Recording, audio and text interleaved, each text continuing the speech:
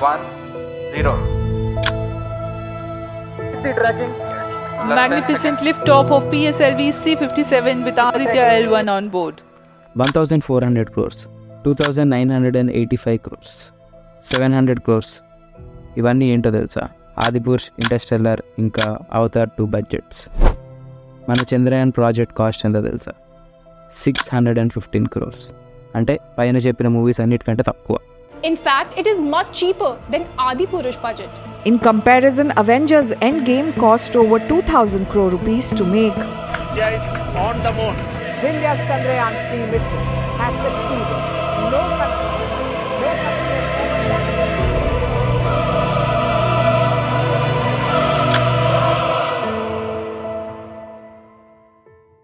రీసెంట్గా కొన్ని ఇయర్స్ నుంచి స్పేస్లో సెన్సేషనల్ ఈవెంట్స్ జరుగుతున్నాయి మన మస్క్ మావ రాకెట్స్ని రిలీజ్ చేసుకుంటూ వెళ్తున్నాడు. Aditya ఎల్వాన్ని second September twenty twenty three అంటే ఈ రోజు లాంచ్ చేస్తున్నారు. నాసా హ్యూమన్స్ని మూన్ సౌత్ పోల్లోకి పంపిద్దామని ప్లాన్ చేస్తుంది. ఓకే ఎందుకు ఇవన్నీ చేస్తున్నారు? అంటే మనం ఫస్ట్ నుండి బేసిక్ నుండి వద్దాం. ఈ స్టోరీ ఇప్పుడు స్టార్ట్ అయింది కాదు. ఇది వరల్డ్ వార్ టూ తర్వాత స్టార్ట్ అయింది. వరల్డ్ వార్ టూ తర్వాత యుఎస్కి ఇంకా యుఎస్ఎస్ఆర్కి మధ్యలో కోల్డ్ వార్ అనేది స్టార్ట్ అయింది. సో యుఎస్ ఇంకా సోవియట్ యూనియన్ మేం పవర్ఫుల్ అంటే మేం పవర్ఫుల్ అని ప్రపంచానికి ప్రూవ్ చేయడానికి ట్రై చేసేది. నైన్టీన్ ఫిఫ్టీ సెవెన్లో సోవియట్ యూనియన్ స్పూట్నిక్ అనే ఒక ఆబ్జెక్ట్ని ఎర్త్ ఆర్బిట్లో ప్లేస్ చేసింది. ఫస్ట్ ఆర్టిఫిషియల్ శాటిలైట్ లాంచ్ చేసిన కంట్రీగా హిస్టరీని క్రియేట్ చేసింది. వెంటనే అమెరికా ఏం ఊరుకోలేదు. నైన్టీన్ ఫిఫ్టీ ఎయిట్లో అమెరికా కూడా ఓన్ శాటిలైట్ని లాంచ్ చేసింది. త్రీ ఇయర్స్ తర్వాత నైన్టీన్ సిక్స్టీ వన్లో అమెరికాకు ఒక గట్టి షాక్ తగిలింది. అదేంటంటే సోవియట్ యూనియన్ యూరీ గగారియన్ అన్న ఒక పర్సన్ని స్పేస్లోకి పంపించింది. సో వెంటనే అప్పటి యుఎస్ ప్రెసిడెంట్ అయిన డీడ్ వైట్ అంటే ఇతను నేషనల్ ఏరోనాటిక్స్ అండ్ స్పేస్ అడ్మినిస్ట్రేషన్ని స్టార్ట్ చేశారు దాన్ని మనం నాసా అని కూడా అంటాం. On twenty first May nineteen sixty one ఈ డెకేట్ కంప్లీట్ అయ్యే టైంకి మనుషుల్ని మూన్ మీద ల్యాండ్ చేయిస్తామని అమెరికా అనౌన్స్ చేసింది. Decade is out, of landing a man on the moon and returning him safely to the earth. So testing చేయడం start చేసింది. Nineteen sixty three నుండి నైన్టీన్ సిక్స్టీ సెవెన్ వరకు నాసా చాలా టెస్ట్లే చేసింది. ఫైనల్గా ఫిబ్రవరి నైన్టీన్ సిక్స్టీ సెవెన్న అపోలో వన్ మిషన్ని లాంచ్ చేద్దాం అనుకుంది. దాని గురించి మొత్తం ప్లాన్ చేసింది. ఆ ప్లాన్ చేసి టెస్ట్ చేసే టైంలోనే ఫైర్ యాక్సిడెంట్ అయ్యి త్రీ ఆస్ట్రోనట్స్ చనిపోయారు. అపోలో వన్ ఫెయిల్యూర్గా మిగిలిపోయింది. అలానే అమెరికా ఏం తగ్గలేదు. వెంటనే అక్టోబర్ నైన్టీన్ సిక్స్టీ ఎయిట్లో మనుషుల్ని పెట్టి అపోలో ఎయిట్ ప్రాజెక్ట్ని పంపించింది స్పేస్లోకి. ఇది కూడా సక్సెస్ అయింది. నెక్స్ట్ వచ్చిన అపోలో నైన్ అపోలో టెన్ కూడా కంటిన్యూస్గా సక్సెస్ అవ్వడంతో అమెరికా తన స్పేస్ డామినెన్స్ని చూపించింది. సిక్స్టీన్త్ జూలై నైన్టీన్ సిక్స్టీ నైన్లో అపోలో లెవెన్ మిషన్ని లాంచ్ చేసింది. ట్వంటీ ఎయిత్ జూలైన నీల్ ఆమ్స్ట్రాంగ్ అనే పర్సన్ మూన్ మీద కాలు పెట్టాడు. ఇలా స్పేస్ రేస్ అనేది స్టార్ట్ అయింది. మీరు ఇప్పుడు దాకా పైన చూసిన స్పేస్ మిషన్స్ అన్నీ కూడా జస్ట్ వాళ్ళ డామినెన్స్ని చూపించుకోవడానికే చేశారు. ఇనీషియల్గా ఇదంతా జస్ట్ షో ఆఫ్ కోసమే జరిగింది.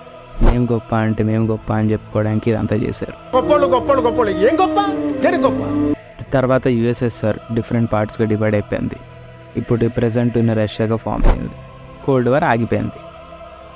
సో వీటన్నిటి మధ్యలో ఇస్రో ఎక్కడ ఉంది అంటే ISRO nineteen sixty three fifteenth August రోజు స్టార్ట్ అయింది. దీనికి చైర్మన్గా విక్రమ్ సారాభాయ్ అనే పర్సన్ని పెట్టారు. ఇప్పుడు చంద్రయాన్ త్రీలో ఉన్న ల్యాండర్ ఆయన గుర్తుగానే విక్రమ్ ల్యాండర్ అనే అని పేరు పెట్టారు. సో ఇస్రో స్టార్ట్ చేసిన తర్వాత ఆర్యభట్ట అనే ఒక శాటిలైట్ని తయారు చేశారు. కానీ మన దగ్గర లాంచ్ చేయడానికి లాంచ్ ప్యాడ్ లేదు. సో రష్యాకి వెళ్ళి లాంచ్ చేయాల్సి వచ్చింది. దాని తర్వాత రోహిణి అనే శాటిలైట్ని మనం మళ్ళీ తయారు చేసాం ఈసారి మన ఇండియా నుంచే లాంచ్ చేసాం ఇండియా నుంచి లాంచ్ చేసిన ఫస్ట్ శాటిలైట్గా రోహిణి హిస్టరీ క్రియేట్ చేసింది. కానీ ఇవన్నీ కంట గుర్తింపు తెచ్చిన శాటిలైట్ ఇంకొకటి ఉంది. అదే INSAT Indian national satellite system ఇది నైన్టీన్ ఎయిటీ త్రీలో లాంచ్ చేశారు. ఈ ఇన్సాట్ రాకెట్ ఒకటేసారి ఎర్త్ ఆర్బిట్లో ట్వంటీ ఫోర్ శాటిలైట్స్ని పెట్టింది. ఇది దేనికి వాడతామంటే కమ్యూనికేషన్ బ్రాడ్కాస్టింగ్ వెదర్ రిపోర్ట్ వీటన్నిటి కోసం సెట్ చేశారు.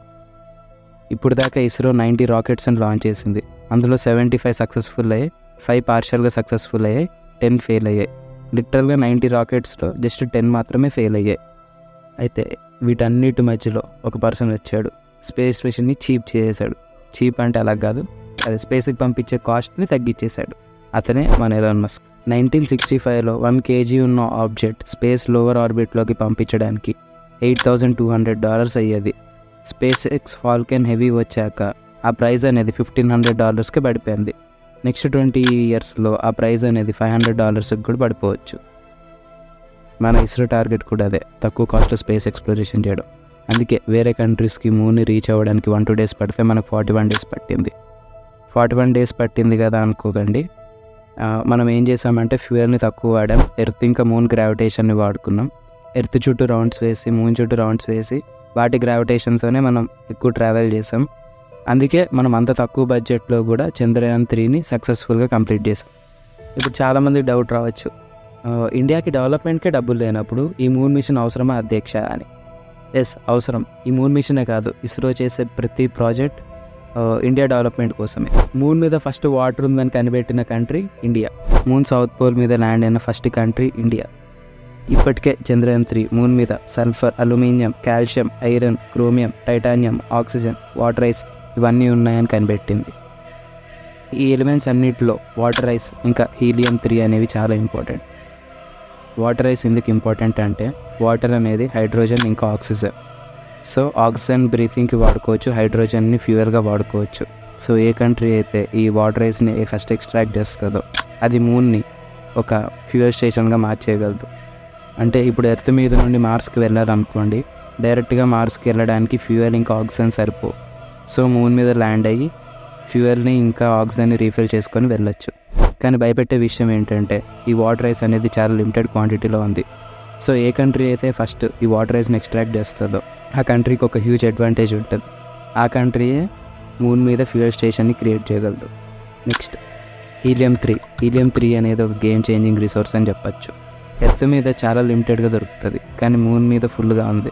ఇది ఎలక్ట్రిసిటీ ప్రొడ్యూస్ చేయడానికి క్వాంటమ్ కంప్యూటింగ్కి ఆయిల్ ఇంకా గ్యాస్ ఎక్స్ప్లోరేషన్కి మెడికల్ పర్పస్ చాలా వాటికి యూస్ చేస్తారు. ఈ హీలియం త్రీతో ఫ్యూజన్ ఎనర్జీని క్రియేట్ చేయొచ్చు. అంటే clean source of energy without any radioactive waste helium three ఎంత పవర్ఫుల్లో చెప్పాలంటే just twenty five tons of helium త్రీతో United States మొత్తానికి వన్ ఇయర్ వరకు పవర్ సప్లై ఇవ్వచ్చు.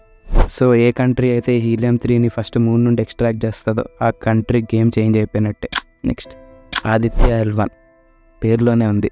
ఆదిత్య అంటే సన్ ఎల్ వన్ అంటే Lagrange point one.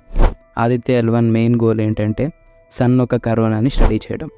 కరోనా అంటే కోవిడ్ కాదండి సన్ అవుటర్ పార్ట్ని కరోనా అని అంటాం. దాని నుంచి ఏమైనా సోలార్ స్టోమ్స్ వచ్చినా ఫ్యూచర్లో సన్ నుండి మనకి ఏమైనా ప్రాబ్లం ఉన్నా లేదా సన్ ఒక సీక్రెట్స్ని కనుక్కోవడానికి ఈ ఆదిత్య ఎల్వాని వాడారు. సో ఈ లెగ్రాంజ్ పాయింట్ వన్ అంటే ఏంటంటే ఎర్త్కి గ్రావిటేషన్ ఉంటుంది సన్కి గ్రావిటేషన్ ఉంటుంది. ఒక సర్టైన్ పాయింట్లో ఎర్త్ గ్రావిటేషన్ ఇంకా సన్ గ్రావిటేషన్ ఈ శాటిలైట్ మీద ఈక్వల్గా అప్లై అవుతాయి. సో ఆ రెండు గ్రావిటేషన్స్ మధ్యలో ఈ శాటిలైట్ని ప్లేస్ చేయడం వల్ల అది అక్కడే స్టేబుల్గా ఉంటుంది. ఆ పాయింట్నే లెగ్రాంజ్ పాయింట్ వన్ అంటాం. అందుకే ఈ ప్రాజెక్ట్కి ఆదిత్య ఎల్ వన్ అని పేరు పెట్టాం. ఎవరు ఒప్పుకున్న ఒప్పుకోకపోయినా చంద్రయాన్ త్రీ అనేది వండర్ అది కనుక్కుంటున్న ప్రతి విషయం ఒక వండర్ ఇంత తక్కువ ఇంత తక్కువ కాస్ట్లో స్పేస్ ఎక్స్ప్లోరేషన్ చేయడం అనేది ఓన్లీ ఇండియాకే సాధ్యం. సో చంద్రయాన్ త్రీ లాగే ఇప్పుడు ఆదిత్యయాన్ ఇంకా గగనయాన్ కూడా సక్సెస్ఫుల్గా అవుతాయని కోరుకుందాం. ఓకే ఈ వీడియో కింతే ఇది మన కొత్త ఛానల్. ఇప్పుడు దాకా మీరు ఈ వీడియో చూసారంటే మీకు డెఫినెట్గా నచ్చి ఉంటుంది సో లైక్ చేయండి. మీకు ఎంతో కొంత ఇన్ఫర్మేషన్ కూడా ఇచ్చి ఉంటుంది ఈ ఛానల్ కాంటెక్స్ట్ ఏంటంటే బిజినెస్ ఇంకా టెక్నాలజీ గురించి చెప్పడం. లైక్ బిజినెస్ కేస్ స్టడీస్ ఇంకా టెక్నాలజీ గురించి చెప్తాను. సో ఇలాంటి టాపిక్స్ మీకు ఇష్టం ఉంటే డెఫినెట్గా సబ్స్క్రైబ్ చేసుకోండి. సబ్స్క్రైబ్ చేసుకుంటే మాత్రం ఖచ్చితంగా వీడియోస్ చూడండి. అప్పుడే మన ఛానల్కి రీచ్ అనేది ఉంటుంది. మీకు ఏదైనా కొత్త టాపిక్ తెలుసుకోవాలనుకుంటే కామెంట్ సెక్షన్లో పెట్టండి. డెఫినెట్గా ఆ టాపిక్ మీద వీడియో చేయడానికి నేను ట్రై చేస్తాను. అంతే. Thank you